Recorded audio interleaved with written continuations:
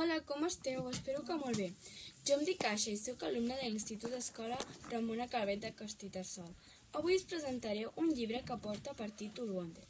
Us el vull recomanar perquè trobo que és molt maco poder-se posar la pell dels altres, i més a la d'un pobre nen que té una greu deformació a la cara, cosa que ja podem veure des d'un principi a la portada, que és molt curiosa perquè hi surt la il·lustració d'un rostre amb tan sols un ull que no ens expressa cap sentiment. L'August és un nen que té molt bon cor i des d'un principi ens n'enamorem. Un dels personatges que també em va agradar molt va ser la Summer, una nena molt empàtica.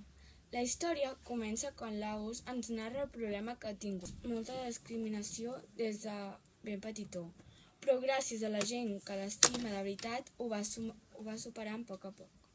Sincerament, aquest llibre és un dels meus preferits, perquè ens n'adonem que moltes vegades ens enfadem o volem coses que no tenim, però la veritat és que no sabem la sort que tenim.